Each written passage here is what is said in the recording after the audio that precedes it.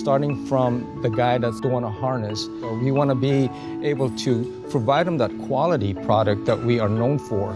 You know, it's, it's a, an amazing feeling in knowing that it's going to get done right.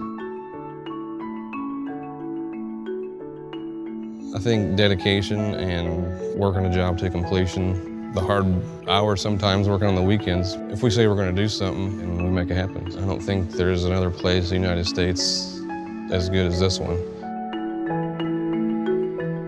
We can fabricate accessories, we can install in the cabinetry. There's a listing of options that they can select from. The bells and whistles, the toys that they want in order to, to function and do their business. We do DVD players, Blu-ray players, full entertainment systems, LED lighting. Basically anything they ask for, we can put into their aircraft for them.